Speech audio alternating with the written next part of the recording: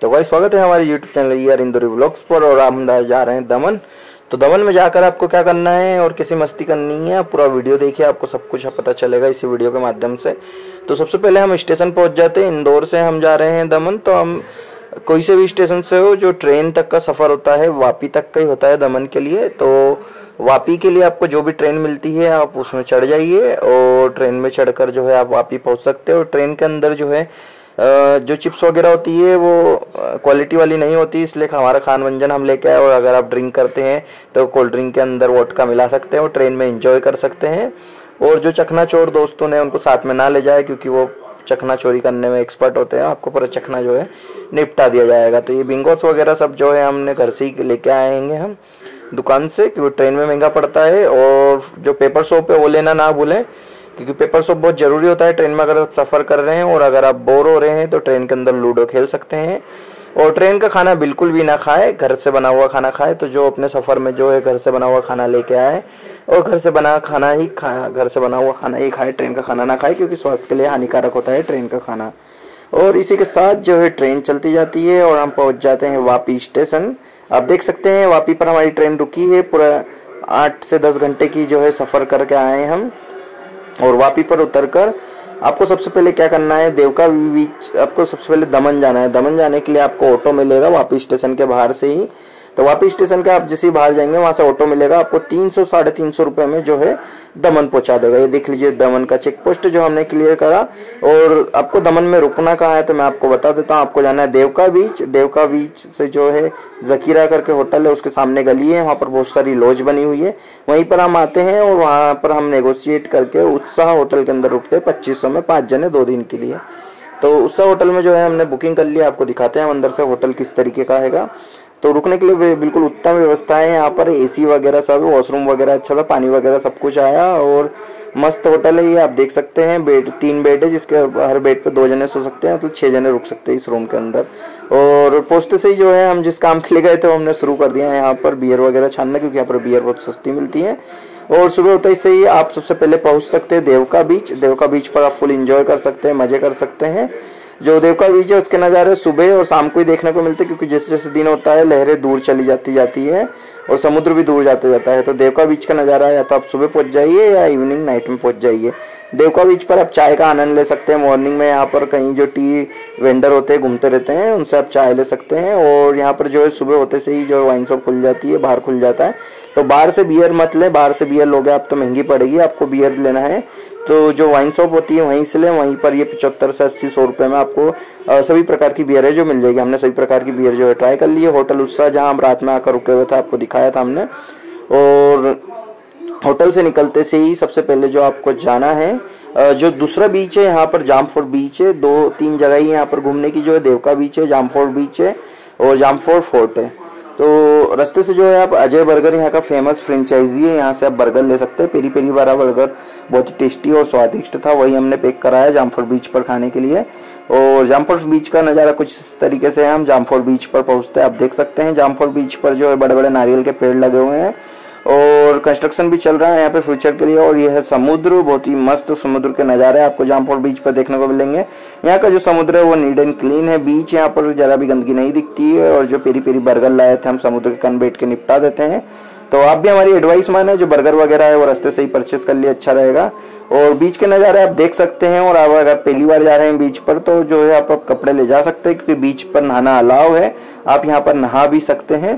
तो हम तो जो है कपड़े नहीं ले जा पाए थे तो हम इस पर, इस मतलब बीच के अंदर नहा नहीं पाए और यहाँ पर बहुत ही खूबसूरत सा जो है समुद्र देखने को मिलता है। बहुत ही शानदार बीच है जामफोर बीच। तो जामफल बीच जो है देवका बीच से आठ से दस किलोमीटर दूर है।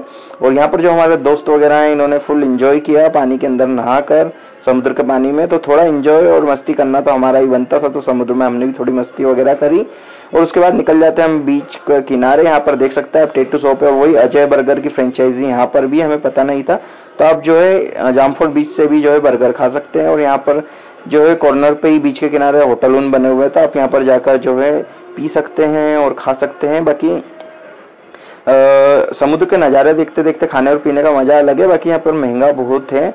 समुद्र के किनारे जो है सर्विस प्रोवाइड करा रहे हैं, उसके अकॉर्डिंग जो है ये बियर वगैरह सब कुछ महँगी दे रहे हैं यहाँ पर तो जो है जामफर बीच के साइड पर जो है खाने पीने से आप बचे तो ज़्यादा सही रहेगा, क्योंकि यहाँ पर जो फ़ूड है, उसमें भी कोई ऐसा टेस्ट नहीं है, और जो बियर वगैरह यहाँ पर मिल रही है, वो ऑन द रेट से बहुत ज़्यादा मतलब पे रेट पे मिल रही है। डेढ़ सौ डेढ़ सौ रुपये की केन मिल रही है, जिनकी एम आर पी पचहत्तर रुपये है। तो यहाँ पर भी हम बैठ गए थे तो हमने इन्जॉय किया, सारी जो है महँगी महँगी सस्ती दारू भी यहाँ पर हमको, सस्ती बियर भी महँगी पैसों में पीनी पड़ी। और यहीं जामफोर बीच पर आप देख सकते हैं, जो है कपड़ों की दुकान है तो आपको कुछ परचेस करना हो तो यहाँ से परचेस कर सकते हैं आप। और यहाँ से जो रिक्शा पकड़ कर अगर नाइट का टाइम हो जाएगा तो रिक्शा वाला साढ़े तीन सौ, चार सौ रुपये लेगा वापस देवका बीच के वहाँ जाने के लिए, क्योंकि वहाँ पर लॉज उन सस्ती है। जो जामफोर बीच के पास लॉज है, वो महँगी होती है। और लॉज में पहुंचकर हमने थोड़ा सा यहाँ पर रेस्ट वगैरह किया और फिर निकल जाते हैं हम भोजन की तलाश में गलियों में। और जो देवका बीच है इसके पास में ही छोटे छोटे जो है होटल, रेस्टोरेंट बने हुए हैं खाने के लिए, बाहर टाइप के। तो हम पहुँच जाते हैं अगेन रत्नाकार होटल में और यहाँ पर जो होटल और बाहर दोनों मिक्स है, यहाँ पर पीने की भी उत्तम व्यवस्था थी। तो जो यहाँ का एल्कोहल और यहाँ का बीवरेज है वो एज कंपेयर टू जामफोर बीच के सस्ता है यहाँ पर और यहाँ पर हमने जो है आ, मतलब जो वाले बीच पर गए थे हम और जहाँ पर बैठे थे वहाँ पर हमारा बत्तीस सौ छत्तीस सौ रुपये का बिल बना था जिसमें हमने बियर पी थी और चखना खाया था। और यहाँ पर जो है हमने मस्त जो है हमारी ड्रिंक भी ऑर्डर करी और फ़ूड भी ऑर्डर करा। सब कुछ यहाँ पर हमें बहुत ही रिजनेबल रेट में मिला। रत्नाकर होटल में आप भी ट्राई कर सकते हैं। और ड्रिंक वगैरह करके और जो भोजन वगैरह करके जो हमारा बिल बना था pay out total about twenty two hundred मतलब बाईस सौ रुपये में हमारा सब कुछ यहाँ पर निप, निपट गया रत्नाकर होटल के अंदर। वहीं हम उधर जब जामफोर बीच के किनारे बैठे थे तो बहुत ही महँगा पड़ा था हम सब कुछ और होटल पहुँच हम रेस्ट करते हैं थोड़ा सा और रेस्ट करने के बाद वापस हम शुरू हो जाते हैं। बटवाइजर से शुरू करते हैं और बाग टुबार्गो और फिर उसके बाद खुलते जाते हैं बोतल, इसी तरीके से सुबह हो जाती है और अगला दिन। सेकेंड दिन के लिए कुछ बचता नहीं है, ज़्यादा कुछ घूमने के लिए खाली फोर्ट ही बचता है। आप ऐसा चाहे तो दमन, एक दिन के अंदर पूरा दमन कवर कर सकते हैं, लेकिन अगर आपके पास समय ज़्यादा है तो दो दिन आप ले सकते हैं। अब अगले दिन हम वापस ऑटो पकड़ कर तीन सौ रुपये में पहुँच जाते हैं और सेम आज भी हमने यही करा, हमने सोचा बर्गर जो है रास्ते से हम ले लेते हैं। तो हम अजय फ्रेंचाइजी पर पहुँचे और यहाँ से पेरी पेरी बर्गर जो पैक कराया और फिर जाम फोर फोर्ट के उधर निकल जाते हैं और जामपुर फोर्ट के वहाँ आप देख सकते हैं, जो बोर्ड लगा हुआ है उधर नानी दमन है जहाँ से हम आए हैं, मोटी दमन है, जो बीच साइड है, हम गए थे और लाइट हाउस है घूमने के लिए। तो हम चले जाते हैं अंदर इन साइड दी फोर्ट आप देख सकते हैं फोर्ट की दीवार है फोर्ट का किला फोर्ट का इंफ्रास्ट्रक्चर बहुत ही मस्त है फ़ोटो शूट कराने के लिए जगह। परफेक्ट लोकेशन है और इस पर आप आ सकते हैं। यहाँ पर ज़्यादा टाइम स्पेंड नहीं करना आपको, क्योंकि दो से, डेढ़ से दो घंटे के अंदर आप पूरा फोर्ट घूम सकते हैं। फोर्ट के अंदर खाली दिखने जैसा फोर्ट है, अंदर कुछ भी ऐसा नहीं है। कि जो फोर्ट जैसा हो, आप देख सकते हैं क्रिश्चियन कम्युनिटी की जो है यहाँ पर रहन सहन का तरीका और स्टाइल किस तरीके से रहते तो उसी प्रकार के मकान वगैरह बने हुए हैं क्रिश्चियन कम्युनिटी के अकॉर्डिंगली और यहाँ पर जो है फ़ोटो के हिसाब से वॉल वगैरह पेंट की गई है, यहाँ पर आप फ़ोटो शूट कर सकते हैं। बहुत ही अच्छे तरीके से अंदर आपको ज़्यादा टाइम स्पेंड नहीं करना है किले के आप जैसे ही बाहर निकलोगे, बहुत ही सुंदर नज़ारे आपको देखने को मिलेंगे। यहाँ पर बंदरगाह टाइप का बना हुआ है।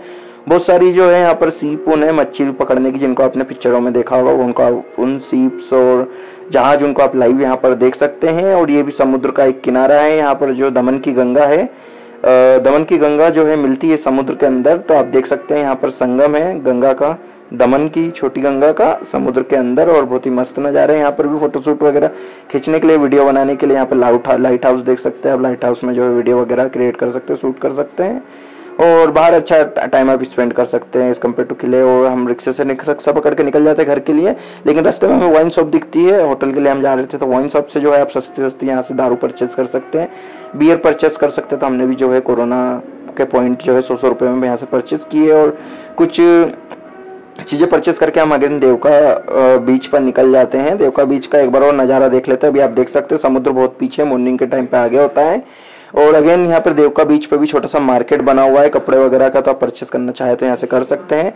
और वाइन शॉप से हमने क्या क्या परचेस किया, आप ये देख सकते हैं। और आप यहाँ से जो है एल्कोहल वगैरह बाहर नहीं ले जा सकते, अपनी रिस्क होती है। दो जगह की चेक पोस्ट होते हैं। अगर चेक पोस्ट आपको नहीं मिलती है तो ही आप ले जा सकते हैं। नहीं तो फिर अगर पकड़ा गए तो जुर्माना भरना होता है।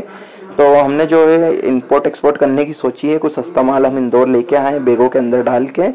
और हम होटल से जो है चेकआउट करके निकल जाते हैं अगेन वाइन शॉप पे और लास्ट टाइम जो हम ब्रीजर लेके चे सब करके अगेन निकल जाते हैं हम होटल की और रेस्टोरेंट की और रत्नाकर रेस्टोरेंट पे, जहाँ पर हमने कल भी खाना खाया था, वहीं आज भी खाना खाया है। मतलब कंटिन्यू दोनों दिन यही खाना खाया है, क्योंकि यहाँ का फ़ूड हमें बहुत ही सस्ता पड़ा है।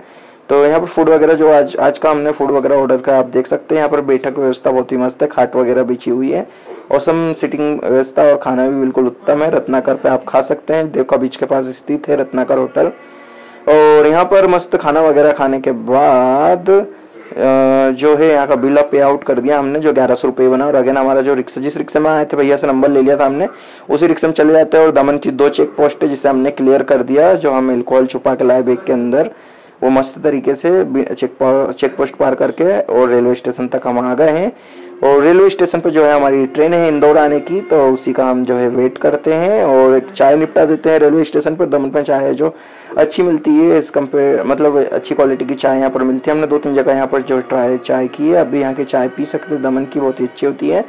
और रेलवे स्टेशन पे पहुँच हमारी ट्रेन का यहाँ पर हम वेट करते हैं। और जैसे ही हमारी ट्रेन का आने का समय होता है तो हमारा जो डिब्बा बोगी नंबर होता है, एस टू होता है तो हम पहुँच जाते हैं हमारे बोगी नंबर मतलब बोगी के पास और फाइनली हमारी ट्रेन पकड़ कर निकल जाते हैं हम इंदौर शहर के लिए। तो आशा करते हैं आपको जो है दमन जर्नी बहुत ही अच्छी लगी होगी। और ऐसी वीडियो के लिए हमारे वीडियो को चैनल को लाइक कीजिए और आते वक्त भी हमने जो है लूडो खेला। और सॉरी चैनल को हमारे सब्सक्राइब कीजिए वीडियो को लाइक कीजिए शेयर कीजिए और दमन की ट्रिप इसी तरीके से इंजॉय कीजिए। तो याद रखिए दमन में घूमने के लिए आपको जो है देवका बीच है, जामफोर बीच है और जामफोर जो है फोर्ट है। यही आप घूम सकते हैं और मस्त नज़ारे देखते हुए हम पहुँच जाते हैं इंदौर और हमारे ब्लॉग को यहीं करते हैं समाप्त। तो ऐसा करते हैं, इंदौर टू दमन और दमन में कहाँ क्या घूमना है और किस प्रकार की, इसी प्रकार की जानकारी आपको अच्छी लगी होगी। तो स्टे ट्यून मिलते हैं अगले वीडियो में। Thank you